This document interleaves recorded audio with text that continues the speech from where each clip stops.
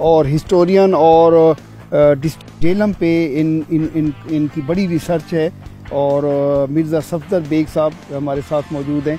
इनसे टिल्ला जोगियाँ के बारे में थोड़ी सी मालूम लेती हैं। अस्सलाम वालेकुम जी। जी वालेकुम अस्सलाम। टिल्ला जोगियाँ के बारे में थोड़ी हमें बताएँ कि ये क्या चीज़ है? ये सिखों की मुकदस जगह है जोगियों की मुकदस जगह है। बड़े बड़े हुक्मरान अकबर बादशाह और बड़े बड़े हुक्मरान यहाँ आए। आके यहाँ मन्नतें मांगी और अपने मुरादें यहाँ से मांग के गए। तो क्या इसमें क्या चीज़ है? क्या? सर ये टिल्ला जोगिया के बहुत इसके बहुत से चैप्टर हैं। इसमें जोगियों ने यहाँ कब डेरा लगाया? इसमें हमें कुछ हिंदू मिथालोजी की कहानियाँ भी मिलती हैं कि गोरखनाथ ने सबसे पहले यहाँ पे जो है वो डेरा लगाया था। फिर ये सिलसिला चलता रहा। गोरखनाथ और बालनाथ और मछिंदनाथ और सिद्धनाथ, सिद्ध बालकनाथ, ये सिलसिला चलता रहा। ये जोगियों का और सन्यासियों का एक बाकायदा सिलसिला है। सन्यासी जो इलाज करने वाले होते हैं वो भी। और यहाँ पे राजा बर्तवी हरी हिंदुस्तान का एक बहुत बड़ा नाम गुजरा है, जो राजा बिक्रमा जीत का बाई था, जिससे हमारे ये पंजाबी और देसी साल कैलेंडर चलता है ना, वो उसका बाई था। वो भी संन्यास लेके यहाँ आ गया था। और यहाँ बैठ के उसने जो किताब लिखी थी, उसको कहते हैं बर्तरी पुस्तक। और इलामा इकबाल का एक मशहूर शेर फूल की पत्ती से कट सकता है हीरे का जिगर।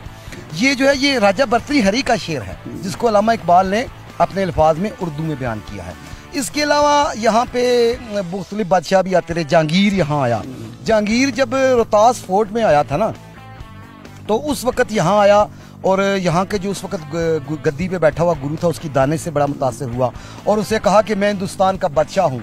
बताओ मैं तुम्हारे लिए क्या करूँ? तो उसने कहा अगर हमें दुनियादारी की परवाह होती दुनिया चाहिए होती तो हम यहाँ तक बैठते बत्तीस सौ फीट ऊँचे पहाड़ पे। तो तालाब बनवा दो। तालाब बनवा दिया। इसी तरह 1521 में यहाँ गुरु नानक जी भी आए थे।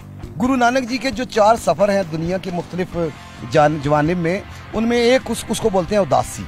उनकी जो चौथी उदासी है जो 1521 में जो मक्के तक गई है। हम्म, हम्म। मक्का और बगदाद और पंजा साहब वाला जो उनका सफ़र है उसमें यहाँ आए थे। तो उस वक्त यहाँ पे इस गद्दी पे सिद्ध बालक नाथ बैठा हुआ था। उसको किसी ने आके बताया कि यहाँ पे कोई फकीर आया है, बड़ा लंबा सफ़र करके। तो उसने डोली जो होती थी, वो दे के भेजी अपने चेलों को कि यहाँ पे तशरीफ़ ले आए तो गुरु नानक जी ने कहा, और मंदिर में मंदिर में ठहरे। तो गुरु नानक जी ने कहा, एक तो हम पैदल सफ़र करते हैं, किसी के कंधों पर सफ़र नहीं करते। दूसरा ये कि हम मंदिरों में नहीं ठहरते। फिर वो खुद गया और उनकी, उनसे रिक्वेस्ट की तो वो यहाँ आए और ये पीछे गुरुद्वारा मौजूद है, जो महाराजा रंजीत सिंह ने तकरीबन 1830 और 34 के दरमियान यहाँ बनवाया। यहाँ जो उस वक्त के सिद्ध बालक था, उसके साथ उनकी जो बातचीत हुई, वो बाकायदा गुरु ग्रंथ साहब, जो सिखों की मजहबी किताब है, उसका हिस्सा है, जिसको सिद्ध गोष्ठ बाणी कहते हैं। वो भी आई, फिर इस यानी इस इस टिल्ला की बहुत सी परत हैं, बहुत सी पेजेस हैं, अगर आप देखते जाए। यहाँ पे फिर पानी का सबसे बड़ा मसला था तो मुख्तलिफ़ हिंदू शाही के दौर में राजा जयपाल राजा अनपाल के ज़माने में यहाँ एक तालाब बना। इसी तरह महाराजा रंजीत सिंह ने एक तालाब बनवाया जहांगीर ने एक तालाब बनवाया सात तालाब यहाँ बने हुए हैं।